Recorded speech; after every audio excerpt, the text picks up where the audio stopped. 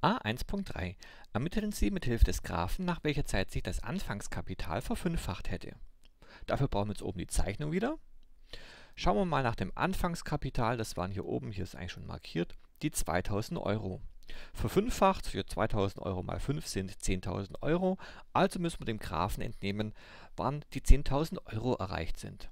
Dafür nehmen wir jetzt einfach das Lineal und schauen nach bei 10.000 Euro. Können wir noch mit Farbe ein bisschen ähm, etwas genauer darstell darstellen.